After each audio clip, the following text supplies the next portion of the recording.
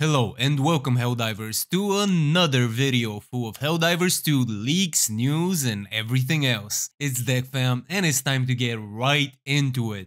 So first things first, congratulations are in order for completing the major order. As you can see we have almost 2 days left until the completion of the major order and all of the 4 planets are up to 100% completion. So unless Joe wakes up on some fuck shit, we are going to get this easily. The major order was about keeping control of Terminid planets, so the biomass collection teams would be able to collect some more of the oil from the bugs, which we use to power up our spaceship's FTL travel. Now with this in mind, as you can see, Malevelon Creek is open for business and it's time for us to get back to the bots, at least that's my opinion. Other than that, on the news front, everything has been kinda slow the past couple of days, which is to be expected, we cannot have high days all of the time, but there are a bunch of things I missed out on reporting in my past couple of videos, so here we go. First, from the Helldivers 2 Discord channel. If you're not in there, make sure you get on Discord and get in the Helldivers 2 chats, because this will be your best source of Helldivers 2 related announcements. And as you can see, a couple of days ago they managed to identify the causes of freezes many of the players have been experiencing. They are in the process of building a patch to fix that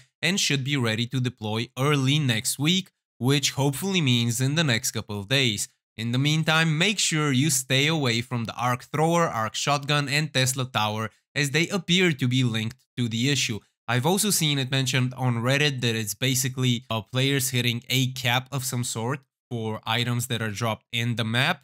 And that means using those EATs is also not helpful, but that is more in the lines of conjecture. So we cannot be really sure. Yeah, I know crashes and freezes are something that is not making anybody happy.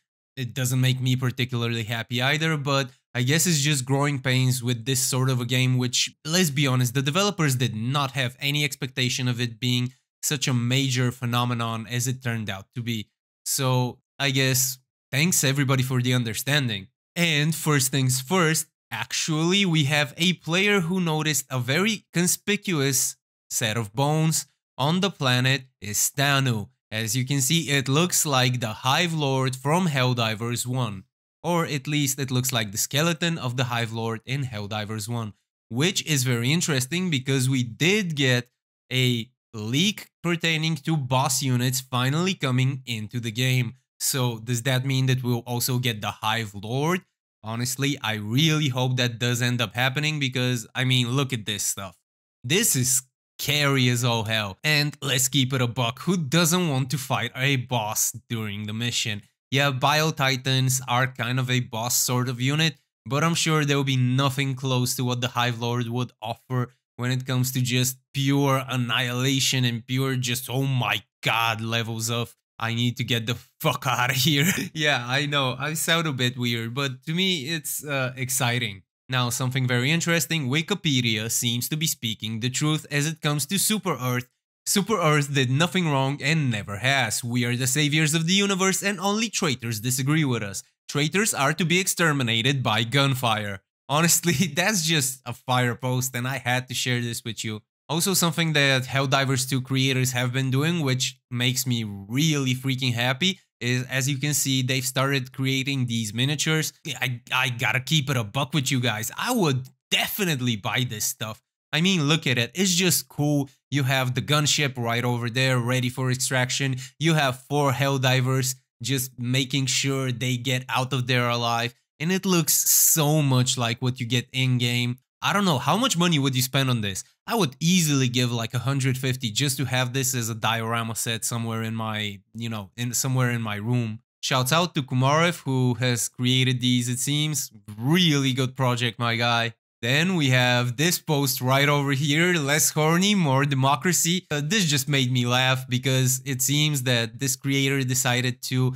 make a female version, like a human female version of the Bio Titan. It looks very horny. It's got a little bit of boobage action going on there. And of course, the correct response to this is to drop a 500 kg bomb on it for heresy. It's just a, such a heretic post. You gotta destroy it with fire for democracy. Also, we have kind of a feel-good post for you because this person, Trashcat131, is ready to do literally anything for democracy. They're seemingly in a hospital, but that does not stop them from playing Helldivers 2 and helping us with the liberation efforts. So thank you very much, Trashcat131. I hope you get better soon. And it's really cool to see the community going hard for posts like this. And this post just made me laugh so hard by US2 underscore therapy don't come cheap divers. As you can see, it's just that was traumatic. Have me. The only winner in this war is going to be my therapist. I gotta say, I feel you, man. I feel you. And now let's get on to the leaks. Honestly, it's been very slow since my last video, but there have been a couple of things I have not covered yet, so I'll go over those as quick as I can.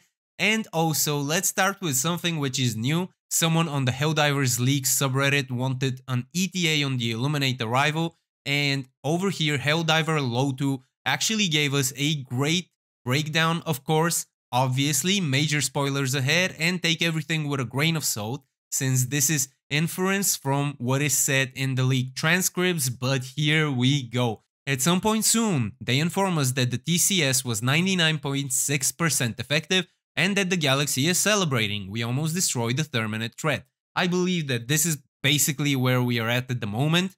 Then they tell us that actually on Meridia, 0.4% of the bugs weren't killed and have mutated to create a super colony that reproduces 20% faster.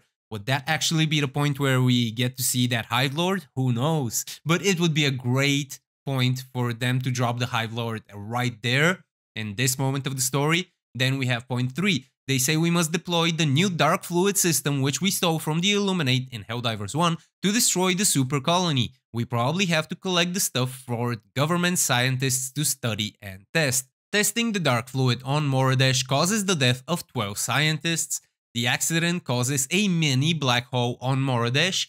The Illuminate starts showing up through the black hole. Sightings are denied as dissident rumors. The Illuminate start popping up in random places around the galaxy, and the government acknowledges their return, and the new faction begins to have a map presence. Now, Lotu assumes that 1 and 2 happen by the end of March, which we are at the end of March. So yeah, that kind of lines up. We are already there. Uh, 3, 4, and 5 will happen by the end of April. It does seem like that is pretty much the order of things and it does seem like we're going in this direction. And then 6 by the beginning of May, followed by 7 and 8 by mid-May. I believe their timeline is very correct, at least from what we've seen. You can check for all of that in the leaked news audio that I have shared in some of my past videos. You can go to my channel for that. Make sure you like and subscribe to my stuff.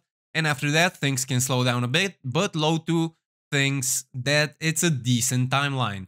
Of course, it does seem like very probable, and I think Lotu is dead on as it comes to this, because this is what we are seeing in game. And now let's get to the leaks that I didn't manage to get to.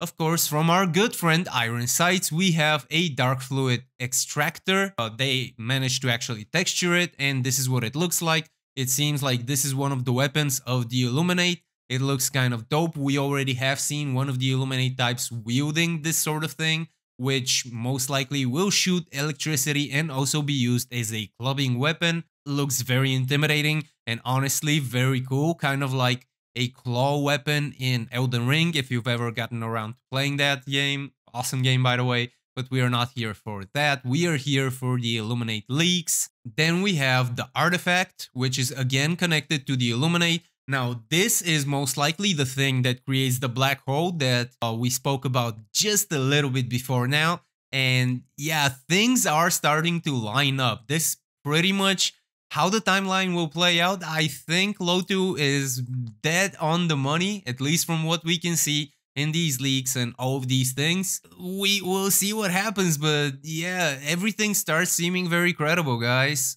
And also, more from Iron Sights, we have some Super Earth foliage and landscapes. Uh, basically, these are just trees from Super Earth, even further confirming that we will fight on Super Earth. It's nothing that interesting, it's just you can finally see what the flora and fauna of Super Earth would look like, and this is probably pretty much what the ground would look like, but it's pre-alpha, so there's a bunch of time before it actually comes about. Then we have another Illuminate right over here. This is just a brawler type of unit. It looks pretty cool. And again, as I love to say, they are very Lovecraftian to me, mostly because of their faces. Then we have the Illuminate Pathfinder. Oh my god, this unit looks freaking incredible. Just look at it. I don't even know what it looks like. Honestly, to be completely, to keep it a buck, it looks like something that belongs in Destiny 2. It looks freaking awesome and I can't wait to fight these guys. Then we have an Illuminate Axe. Just one of the weapons of the Illuminate looks really freaking dope. Then we have an Automaton Fleet Ship, eh, which can be a possible boss. I have no idea how we would fight that thing, but look at this rail cannon that it has right on the undercarriage. This is threatening as all heck. Oh my god. How it would be a boss, I we cannot know. Would there be space combat? I doubt it because that would take like crazy amounts of developmental resources and who knows maybe we'll just be able to see it and we would be activating super earth armed forces you know weaponry that we shoot up at it uh, it's called the stingray entity root and it's a boss possibly you cannot know you cannot know but we get so many leaks about bosses that yeah it seems like it's something that's pretty much gonna happen and that's about it guys thank you for joining me in yet another helldivers 2 news and leaks video. If you enjoyed this video, make sure you hit the like and subscribe to my channel for even more Helldivers 2 content. And I'll see you in the next one.